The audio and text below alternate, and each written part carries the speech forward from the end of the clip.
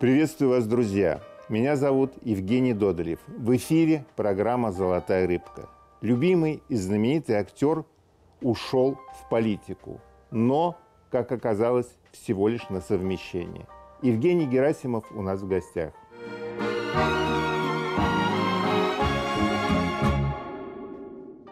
Приветствую вас. А я вас. Евгений Владимирович. Да. Вот такой вопрос. А, Вам известны вообще в мировой практике э, такие же вот аналоги, что знаменитый актер, любимый, уходит в политику, но продолжает выходить и на сцену, и на съемочную площадку. Потому что Шварценеггер, допустим, он же, когда стал губернатором, Мгм. он там потом вернулся.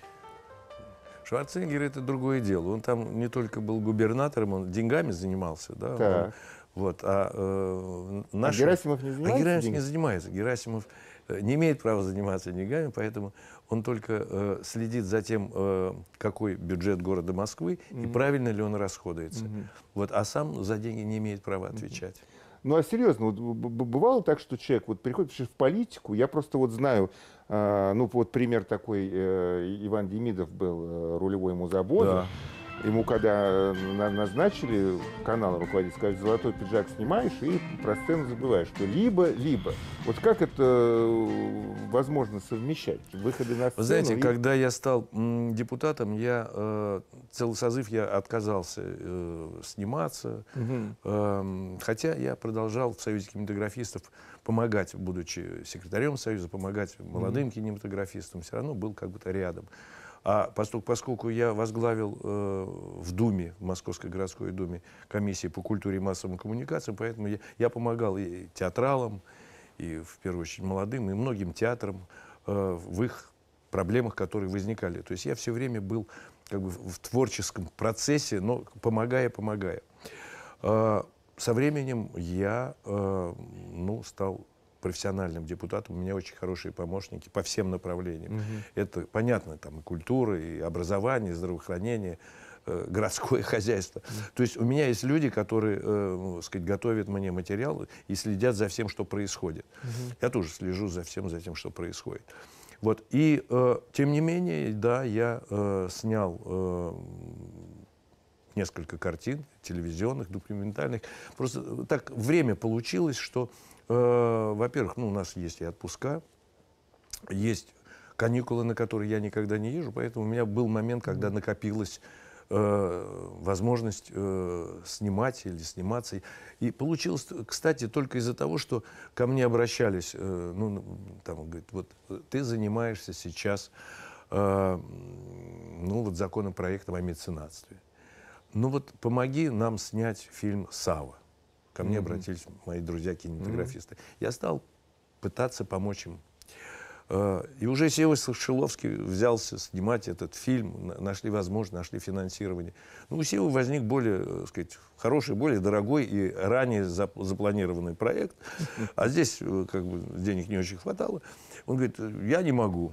Причем Сева меня позвал э, сниматься в этой картине. Говорит, ну я тебя прошу, ты уже сам меценат, ты уже, понимаешь, ну давай, в тебе уже, ты столько не снимался, в тебе все это, значит, накопилось, давай сыграй.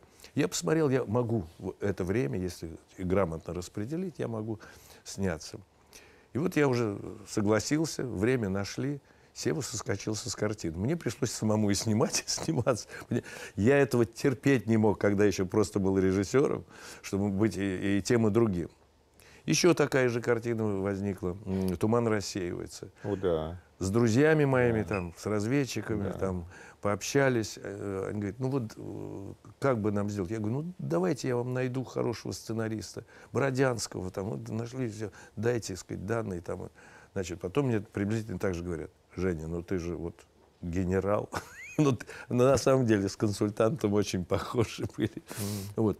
Ну, и, и, э, ну, а там был э, Ирдо, Эльдор Урзбаев. Вот. Ну, у него тоже, он говорит, нет, ну, это вот это самое, ну, вот, вот. Ну, пришлось опять самому снимать. Но потом я снялся все-таки чисто в картине, где меня пригласили. Уже даже забыл название. Но неважно.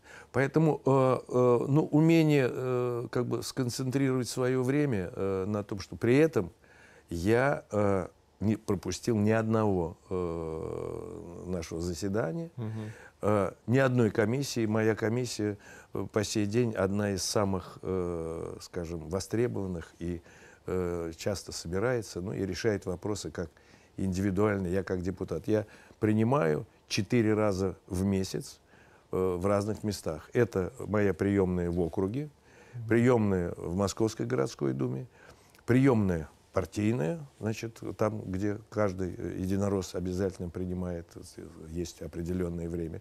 И э, в Союзе кинематографистов провожу прием. Ну, теперь, наверное, еще буду. В, Ле... да, в Ленкоме не надо, да. А вот э, в Луне, наверное... В Театре Луны. В Театре Луны на Малой Ордынке, в замечательном театре, на Малой Ордынке, э, тоже приходится общаться с- по всяким разным проблемам. Туман рассеивается, мне кажется, сейчас очень актуально прозвучало бы, если бы его показали все-таки Да. вот э, про некую угрозу Да. а, и про то, как эти про проблемы. Очень, решаются. очень многим профессионалам э, понравился этот фильм, да и зрителям понравился. Его несколько раз повторяли, он же был и на России, и э, на Мне ТВЦ кажется, был. сейчас нынешний вот этот э, военно-политический кон- Мгм. контекст, он совершенно м, по- по-другому будет лента восприниматься в этом Надо, контексте. надо, да, предложить. предложить. Да. В советское время, я помню, вот в наше, да, эти были сатирики, Жванецкий, это вот была сатира.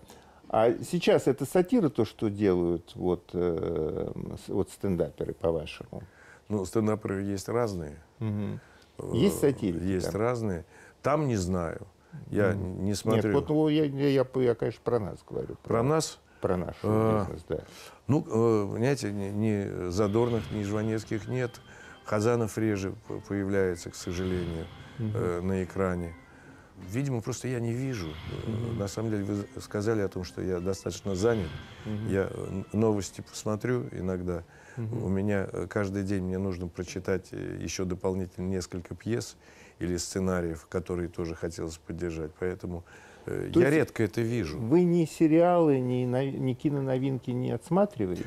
Ну, э, я вынужден иногда, когда, естественно, меня приглашают, я в Авгик иногда езжу. У меня свой фестиваль есть э, «Будем жить», где я Мгм. просматриваю фильмы и молодых, и опытных кинематографистов обязательно, как художественный, документальный и к- короткий метр. Вижу, вижу картины, э, вижу спектакли сейчас. Я, как худрук, я должен ходить, смотреть, э, выбирать м, лучших режиссеров. Вот у меня сейчас э, в театре э, начинают репетировать э, и уже репетируют, с моей точки зрения, одни из топовых и замечательных режиссеров. Я сегодня э, сколько-то часов провел на репетиции Гриншпада э, «Горячее сердце». Ну, получил огромное удовольствие от эм, возможности, знаете, э, вот создать тот мир, в который э, вот, увлечь артистов э, темой, сделать их соавторами своих произведений.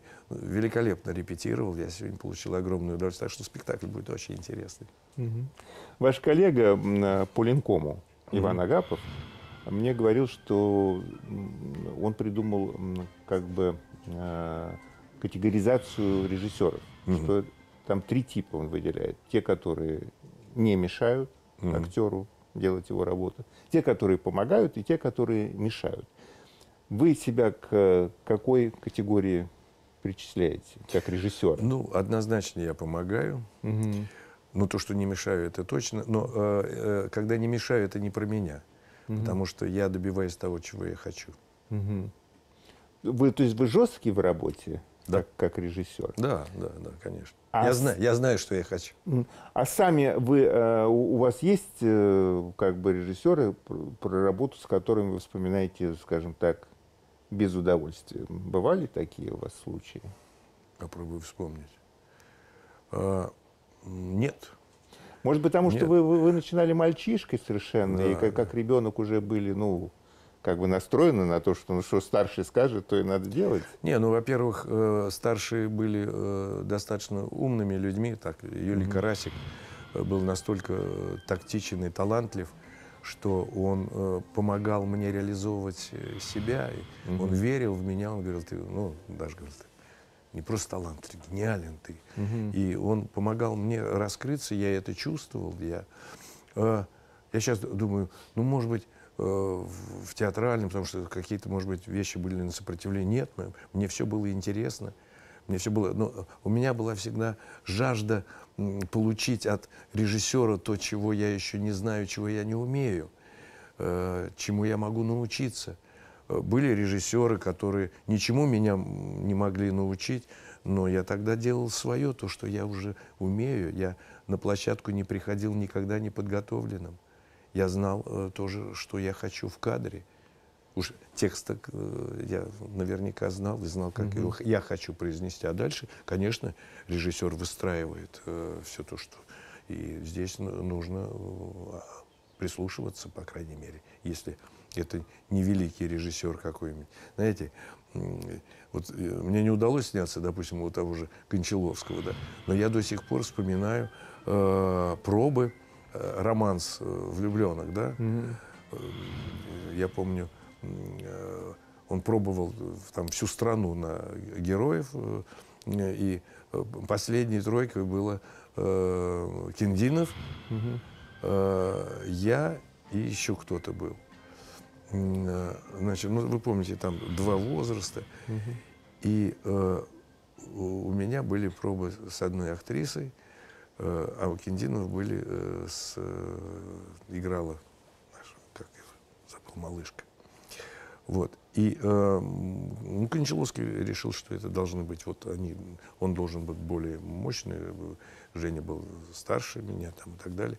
Вот. Но проба, э, которая была у меня с этой замечательной актрисой, я помню ту атмосферу, как я, у нее учился этому, я научился, я это вспоминал уже в своих других ролях, что я оторваться о- от, э, этой партнерши не мог, которую я увидел вообще первый раз э, вот на пробах. Поэтому эм, э, от каждого можно чему-то научиться. По крайней мере, можно от- научиться, что вот этого делать нельзя. Это тоже, тоже и понимать, ну, насколько это может быть интересно. А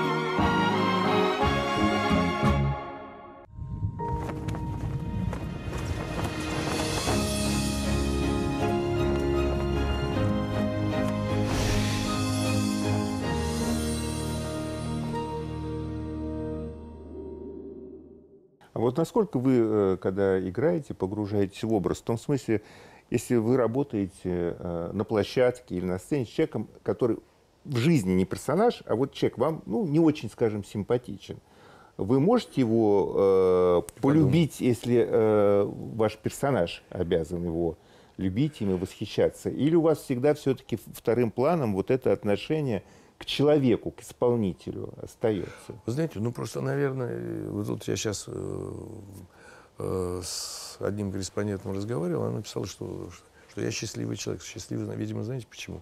Потому что э, я все делаю то, что мне нравится.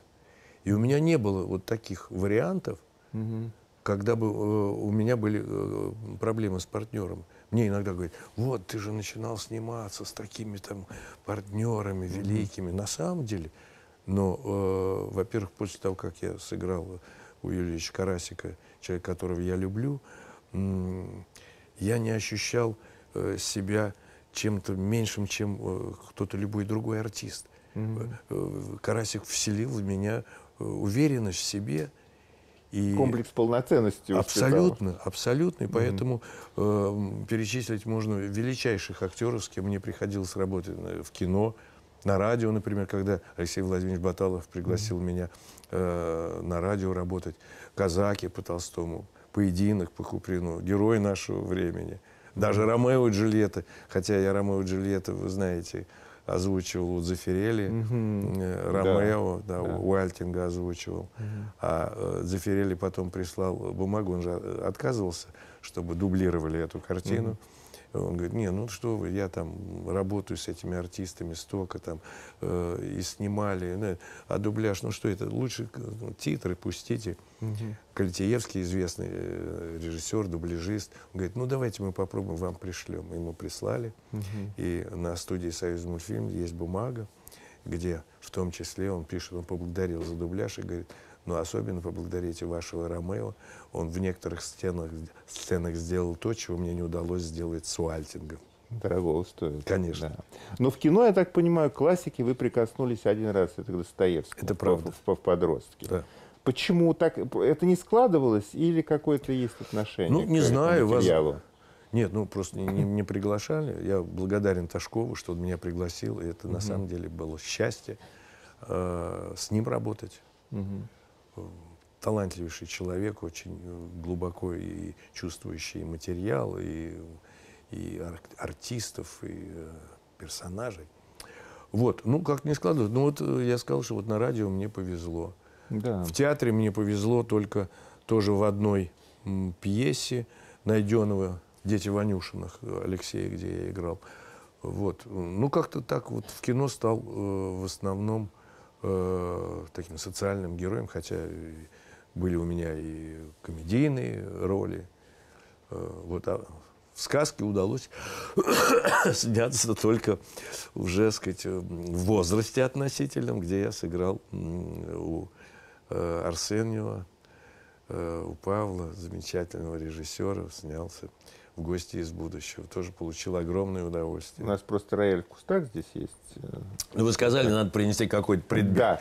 да. Я, нет, подожди. Да. Я сначала подумал, э, но у меня не было возможности поехать и взять э, медаль, э, которую мне вручил м, Папа Римский, Ян II, за вклад в мировую У культуру. вас же самая долгая аудиенция была с ним. Вообще, Я хотел ее принести, но, в общем, я ее так запрятал, чтобы она, знаете, чтобы не не украли. А я вот просто хотел понять, вот э, там нет регламента, что он, он сразу не отводит какое-то время на э, того или иного визитера. Почему-то получилась такая долгая у вас Ну, не- ну, не беседа, знаю. общение. То есть это... Не знаю, почему. Я, э, э, сколько времени он отводит, я не знаю. Я думаю, что ему э, ни- никто э, границ э, не делает. Столько, сколько он хочет, э, столько он и отводит. Кстати, во дворе уже было тысячи три-четыре людей, которые пришли к нему навстречу. Мы когда были в гостинице, я встретился, мы уже хорошо были знакомы с нашим глазняком Федоровым, его супругой. И они говорят, мы идем на встречу с Папой Римским. Я думаю, а я же тоже иду. Думаю, как-то в одно приблизительно время. Вот. А они шли вот как раз вот во дворе, э, сказать, там первый или какой ряд у них был, а он выходил на третьем этаже, значит, на балкончике с ними, встречался, общался. В это время я шел туда, к нему, в апартаменты, проходил мимо, сказать, всей красоты, которая есть в Ватикане, фрески Микеланджело, там, э, вот, конечно, волновался очень. И когда зашел э, к нему в его кабинеты, мы прошли э, э, в библиотеку, а, э, а уже в библиотеке открывалась дверь, и он туда должен был выходить на балкончик. И вот мы с ним беседовали. Э, он говорил о том, что русская культура вообще спасет мир. Он по-русски говорил не хуже меня, и, Ну, может быть, может быть даже и лучше. Он, по-моему, по- 20 с лишним языков знал. Вот. Э, Как он знал э, нашу литературу, это вообще сказка. Уделил много внимания То есть не Русаков, я хочу Нет. уточнить. Да. Маяковскому. Кстати, у нас следующий год Маяковского. Э, Я, когда стал депутатом, удивился, когда в нашем образовании стали сокращать Маяковского и, в принципе, убрали его из программы. Я думаю, ну как же так, да? Э, Папа Римский говорит о том, что Маяковский один из тех, который спасет мир, а у нас из программы убирает. Но потом, слава богу, сделали внеклассным. Я в Москве не один раз об этом говорил. Вот. э, Ну, многие темы были затронуты. И э, вот когда я вышел э, от него, мне сказали, вы больше всех, он с вами общался. Полчаса, да, по-моему? Нет, было 28 минут. Ну, Я говорю, а э, с, с кем же? Он говорит, ну, с вашим президентом. Он говорил 27. Поэтому я счастлив, что я на минуту был интереснее Горбачева. а вы, кстати, с Михаилом Сергеевичем э, были знакомы? Был. Мгм. Не очень близко, но был знаком, да. Перед его уходом, ну, даже за несколько лет до этого, ну, произошла такая очевидная совершенно ревизия э, общественной оценки mm. его, его деятельности. И это не, не только с, э, Горбачевым, ну, да, это да, да. и с э, Борисом Николаевичем происходит, с политиком. Как вы вообще относитесь к тому, что очень меняются оценки на противоположные порой? У, у тех же людей, насколько я ну, та же, та же там, условно говоря, страта, ну, допустим, ну, богема, близкая вам, то есть люди вашего ремесла, они по-другому. По за счет чего происходят эти процессы, вот этой ну, за счет того, переосмысления что... или что это? Вы знаете, вот в Москве есть э, такое правило, что памятные доски устанавливаются через 10 лет после ухода из жизни. Потому что сначала все считают, что огромный вклад человек внес, а проходит время, и те, кто живут в этом доме, э, не помнят, кто это такой. Или отрицательно относятся к тому. Mm-hmm. Вот, поэтому э, время, оно, э, как бы, так сказать, диктует э, многие понимания и решения. Потому что понятно, что э, все радовались э, тому, что происходит перестройка. Все хотели, но все мечтали немножко о другом. Насколько это его вина, что не получилось, как многие хотели, э, как я хотел. Э, ну, не получилось. Но э, то, что произошло, вы знаете, я даже считаю, что это, многие считают, что это только благодаря ему.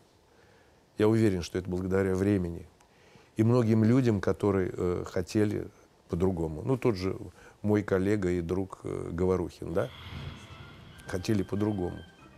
Я, например, в тот период, э, уходя там из театра, уходя со студии Горького, потому что происходили перемены, занимаясь на студии Горького объединением третьим, который мне передал Станислав Ильич Ростоцкий, уходя на картину, он мне его передал как художественному руководителю. Я хочу уточнить, это было персональное решение или где-то коллегиально это обсуждалось? Или это просто было его...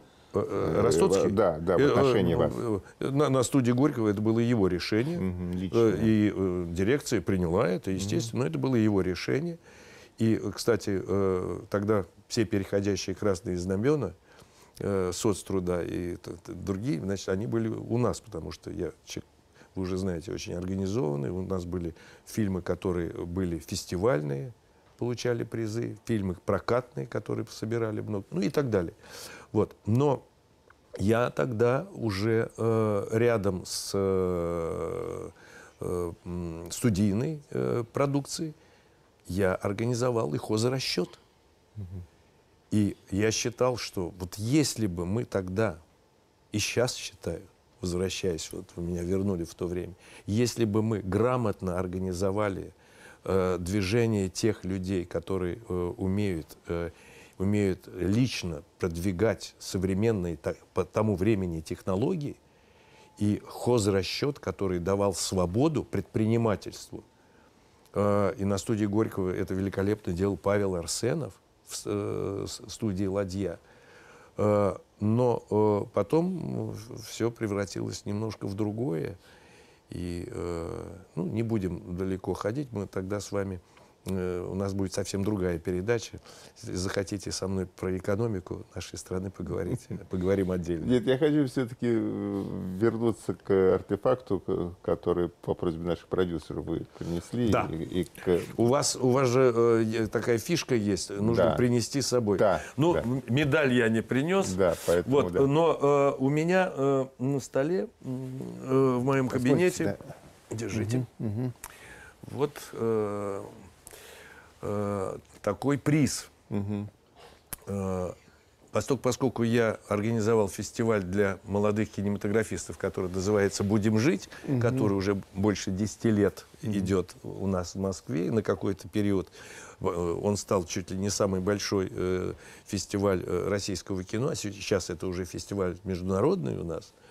Э, и, кстати, на последнем тоже он был международный, потому что, правда, те, кто хотел приехать из Ассанции, они не приехали из тех стран, которые подавали заявки. Но, тем не менее, были наши, э, так сказать, друзья из наших, э, значит, дружеских бывших республик. Вот. э, И когда я думал э, какой-то приз сделать, э, ну, в общем, э, разные были мысли. И мне мой друг э, говорит, Жень, а вот э, давай что-нибудь такое знаковое, что м, связано с кем-то вот из твоих героев. Я говорю, ну я не знаю. Он говорит, ну как, это такой известный человек, э, меценат э, Андрей Станиславович Чижик, это фамилия его Чижик. Вот, он говорит, давай я тебе э, сделаю приз вот для твоего фестиваля. Я говорю, давай, говорит, а давай я сделаю, я тебе покажу. Вот понравится, я вот тебе буду дарить э, этот самый. Я говорю, ну давай дарить. Конечно, на фестивале много денег, что ли. Что. И вот он сделал э, этого самого Вертера. Робот Вертер. да. Но э, я подумал, что в этом есть смысл свой, поскольку, я поддерживал э, поначалу исключительно молодых кинематографистов, чтобы у них была возможность показать свое кино, чтобы они имели возможность проката там, и так далее. все это получилось, и э, они уже стали известными кинематографистами, и сегодня приз на нашем фестивале дает возможность получить там гранты там, и так далее, и так далее. Э, Вот. э, это все-таки э, ну, романтик, который э, дает возможность шансу, э, сказать, шанс каждому из тех, кто вот этот самый э, аленький цветочек так вот возьмет и Я правильно Семицветик. понимаю, что этот персонаж, э, этот робот, это целиком, в общем, ваша как бы придумка? Или- Конечно. Почему, конечно? Это не, не каждый же персонаж. А, ну, не-не-не, ну, конечно, э, с режиссером, с режиссером, не, не. это Павел Арсенов, мы с ним это придумали, в первую очередь Павел Арсенов, ну, э, а потом, э, конечно, я. Нет, вместе. Э, Вместе э, придумывали, э, кто он, какой он, как он ходит, что говорит, как спьется. Вот вы э, э, рассказывали в одном из интервью историю, как вы в метро слышали, как мальчик э, с переломанной рукой. Да, да, да, это была история. э, м, Хотел бы, чтобы вот доктор э, починил, условно это, это говоря, очень, да, это очень реанимировал. тро- тро- да. трогательно Да. было. И- Мальчик едет, значит, это «Д- дедуля, скажи, пожалуйста, а вот этот доктор, который вот меня лечил, а у него, значит, гипс тут, э, вот как ты думаешь, он смог бы вылечить э, робота Верту? Тот говорит, да не, ну это же э, э, человеческий э, доктор, а это же робот. Он говорит, ну это же самый человеческий робот, как же вот это. Ну, Да. тро- трогательно было. Чего не скажешь про Терминатора, раз уж мы Шварценеггера упоминали Но сегодня. тем не менее, э, э, есть э, популярный кинематографический журнал зарубежный, где они оценивали, сказать, роботов. э, Вот. э, Они в меня включили в десятку, то есть моего э, Вертера. То есть они смотрят наши фильмы, посматривают. Ну, конечно, куда, куда им без нас?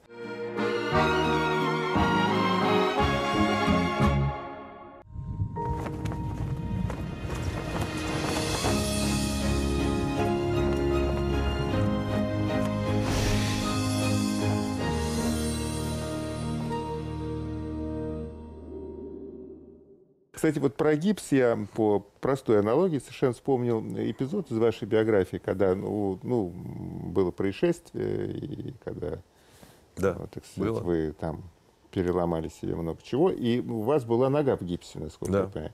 И вы с этой ногой в гипсе поехали в Киев сниматься, Да, да, да. где есть у вас картина. персонаж. Мгм. Так я, вот я когда слышал этот ваш рассказ, я не мог понять, это вы придумали, что у вас персонаж был в гипсе, чтобы вы могли вот э, в этом состоянии играть? Или он уже был прописан, э, Нет, этот э, э, герой? гип- гипс там не был прописан, там Не просто был. была, э, поскольку, поскольку я гонщик, э, По, э, вот по- по этому да, по- да, да, по этой линии, так сказать, да, я там э, падал, значит, э, э, и, э, ну, там не было прописано, что я в гипсе. на костылях. Да, и, фактически и там, я э, этим звоню, говорю, ребята, я, я в гипсе, давайте начнем снимать не сначала там, где я, а э, я когда-то гипс сниму, вот, я могу сейчас приехать, и мы будем снимать э, эпизоды, и продлим эпизоды. Я по- подольше буду в гипсе ходить, вот, а потом снимем начало картины.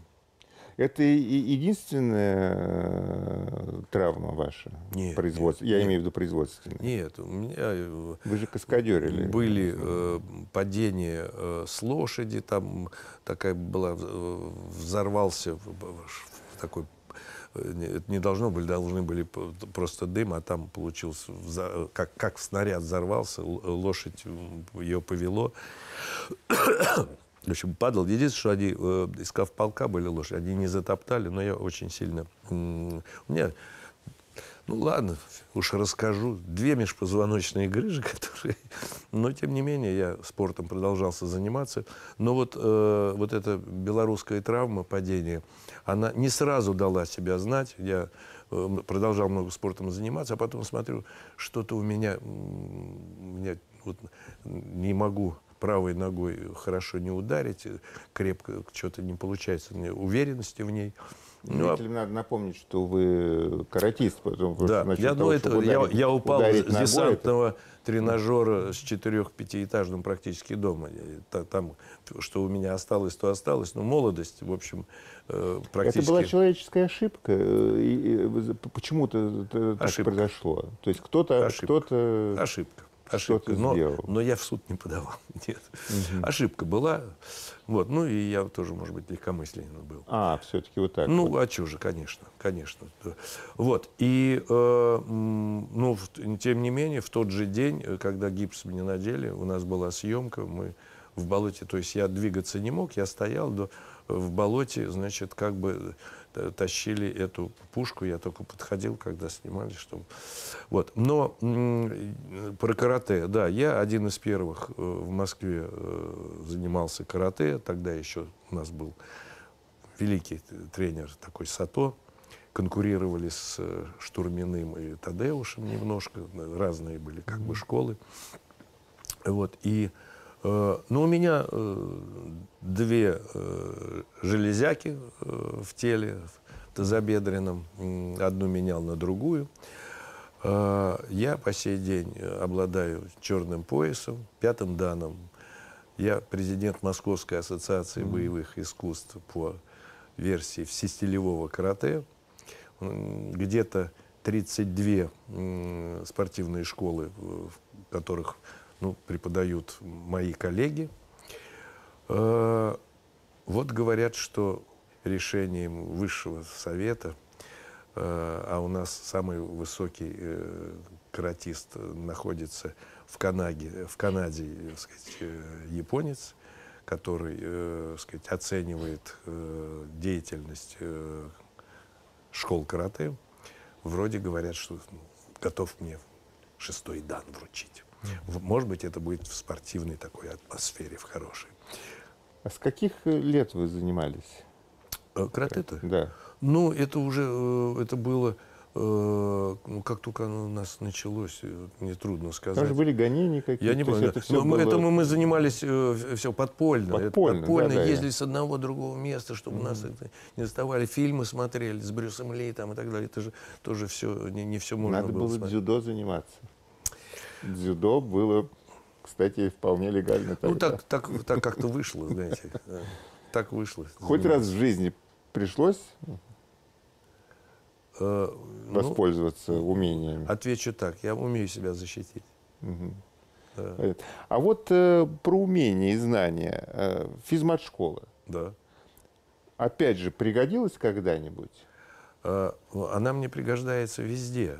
Так. Восток, поскольку она меня научила э, думать, э, мыслить и, э, ну, как бы оценивать в любом случае ситуацию и считать. Я умею неплохо считать, поэтому я с бюджетом неплохо сам разбираюсь.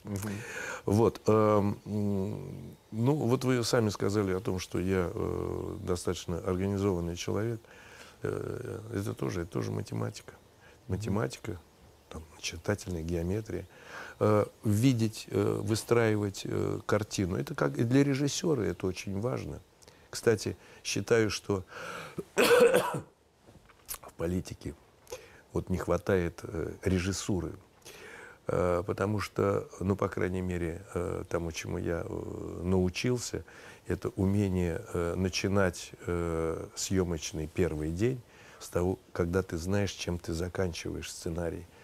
Э, до э, метра у тебя все рассчитано.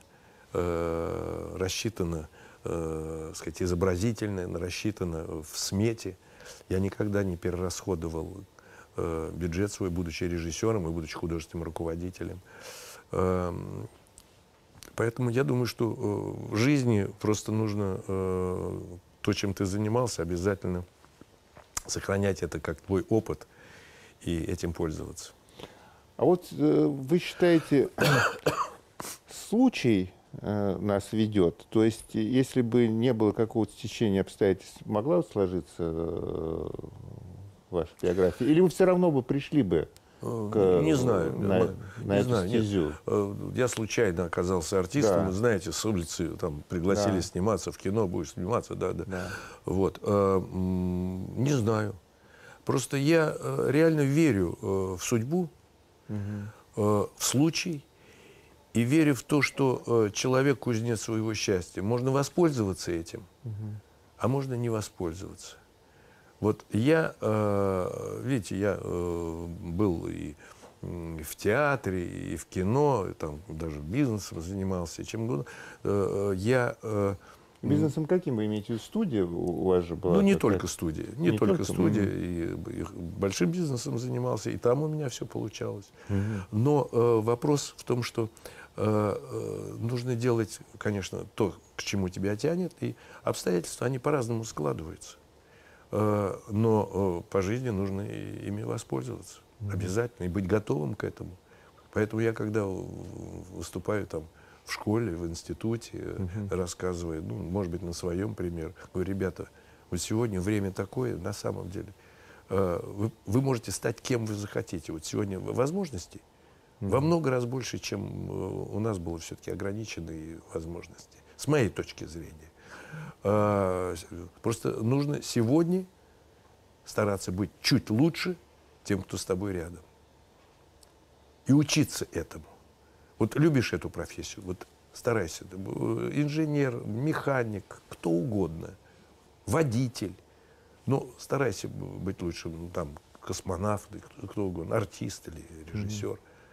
Э, Как мне Витя Павлов все время говорил, э, и, кстати, и Гурченко, вот это, они в этом смысле очень похожи. Понимаешь, ты вот так вот играешь, играешь, а потом должен сделать это.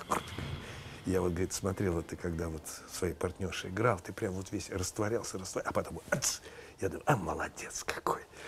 Вот она, она же та- вся в этом, да, была. И Витька такой, Павел был.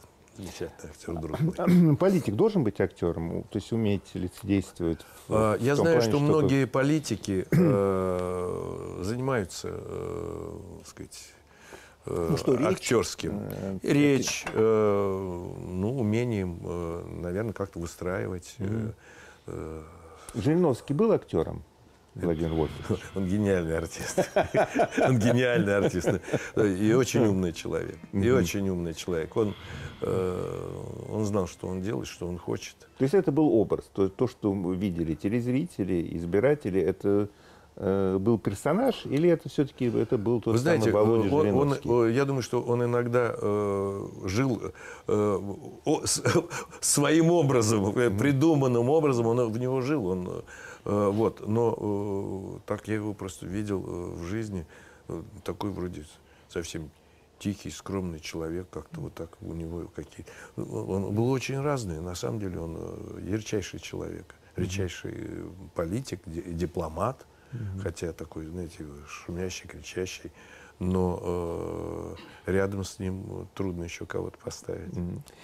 Вот э, э, вы и в кино снимаетесь, и э, в театре выходите на сцену. А ведь э, мне кажется, ну как дилетант, что это два разных ремесла. Вот э, быть театральным актером и быть актером на площадке Это И разные. Я это согласен. действительно разные, да? Я согласен, это разные. А учили вас какому ремеслу? Ну, я учился в театральном, Да. но я параллельно все время снимался. Мгм. Поэтому... Хотя это не поощрялось, По- насколько я да, понимаю. меня чуть не уволили из Щукинского училища. За меня, За Сашу, какую ленту именно? Сашу с Вдовиным. э, чуть ли не за то, что я у Меты снимался. э, это самое... как же фильм-то был замечательный. Точка, точка, запятая. Э, Вот. Как-то там вдруг попало, что я э, у него... Кажется, в этом фильме э, Саша тоже в каком-то хорошем фильме снимался. Вот. Ну, кончился э, тем, что там за меня... А! Не, обвиняется в убийстве. М. Фильм, который получил государственную премию. А я не мог в нем не сниматься, потому что э, я играл роль паренька, которого знал в жизни, которого убили, которого убили в нашем соседнем дворе, который учился в нашей школе. Он учился старше, он был э, э, сыном священнослужителя. И он читал стихи на одном из вечеров, потрясающие. И я эти стихи э, запомнил, полюбил. И, кстати, когда поступал в Щукинское училище, я их читал. И э, когда вдруг э, сценарий предложили э, э, о этом нашумевшем деле в Москве, где четверо ребят из э, благополучных очень семей, высокопоставленных, убили э, в беседке этого паренька, потому что он заступился за девочку, ко- которой они хамели, бутылкой по голове. А, но я не мог не сниматься. А, в общем, я снимался. Ну, там за меня заступился мой худрук Анатолий Иванович Борисов. Вот, мне влупили четверку по мас- актерскому мастерству. Даже Просто не- за это? даже не, да, это да, ну, ну, кадра? чем, ну чем-то должны были. Э, Вот. э, Покарать. За- Захава Да. со мной разговаривал э, очень строго, да. Вот. Но я все равно там потихонечку снимался в других картинах. У вас было несколько совершенно потрясающих, любимых зрителями ролей, когда вы играли, э, скажем так, силовиков. И чекистов, и там, и ментов. Вот с одной стороны, вы политики, и человек вот с этим опытом, э, как бы, э, вживания в роли вот таких людей, этатистов, государственников. С другой стороны, вы представитель, э, понятно, значит, вот артистического сообщества, ну, как принято говорить, богема. Как вот вы, вот это такая дихотомия здесь, это, относитесь к тезису, что когда грохочут пушки, музы должны молчать? Вот здесь кто из, из этих двоих Герасимовых Э, Вы знаете, э, есть же, есть же и, и другая э, как бы э, э, поговорка, Э, когда э, вот наоборот э, эти музы говорят, то пушки молчат. Вот так вот. Да, Понятно. это я помню, когда на сцену э, выходил эм, э, Вайнер, выходил э, с Папаха, этот самый, к- как его, танцор наш, э, Исымбаев. Исымбаев, да, Да, и да. говорили, вот когда э, говорят музы, то пушки молчат. Эти, эти люди влияли на, э, сказать, на, все, на многое, что происходит э, в мире, в стране. Но э, поэтому м, разные пушки и разные музы. У нас э, муза это золотая рыбка, наша программа так и называется, и по формату э, я попрошу вас к ней обратиться с каким-нибудь пожеланием, что, что-нибудь загадать, но вслух. Знаете, у меня сегодня дорогая золотая рыбка. Я могу только одно желание загадать, чтобы был мир во всем мире, чтобы люди были счастливы, чтобы не было войны, чтобы э, каждый из нас получил то, что он хочет и что заслуживает. Не могу не присоединиться. Спасибо, Евгений Владимирович. Спасибо. Спасибо за беседу.